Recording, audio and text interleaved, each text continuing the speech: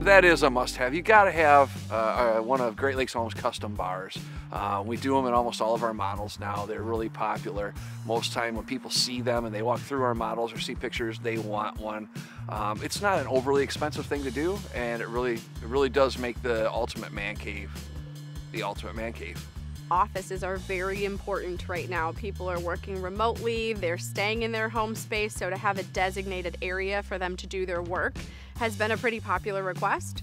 Um, people are loving the pantries. They're doing a lot of different things in their pantries, almost creating extra kitchen space where they're putting microwaves or putting countertops and using it almost as like a butler's pantry. Um, master bathrooms seem to be a huge, a huge deal to people with the tile walk-in showers.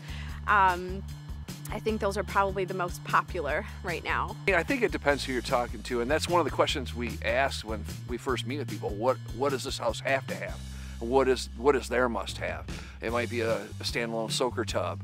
Um, one of the things we've been um, really highlighting is our heated tile in our bathrooms. People, you know, when they find out what the cost of it is, you know, they, they think it's this astronomical cost, but it's not. And it really is a great thing to have. And, and once they stand on that floor, they're, you know, they're always, they always want it or they're glad that they, that they upgraded to get it. After the fact, it's almost impossible. You take out the whole tile floor and start start over again. So it has to be done, and it really has to be done and decided on when we're doing rough in for electrical, so they get the electric where it needs to be.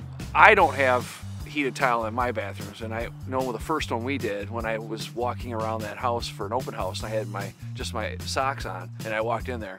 Yeah, that was something that's, that's definitely going to be in my next house.